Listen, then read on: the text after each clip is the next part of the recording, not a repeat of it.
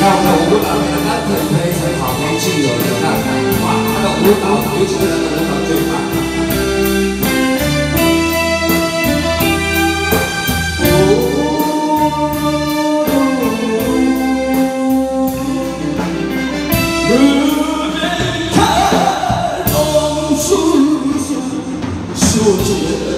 Oh, 真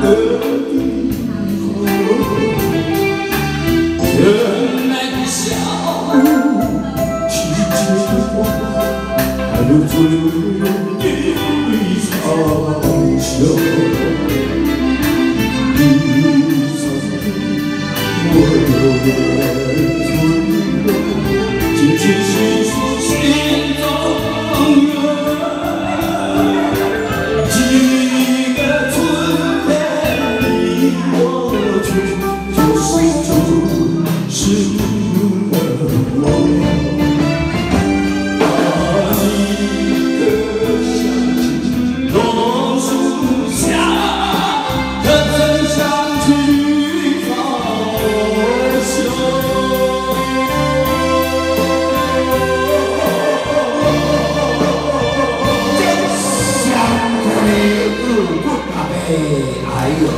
哇，好棒好棒！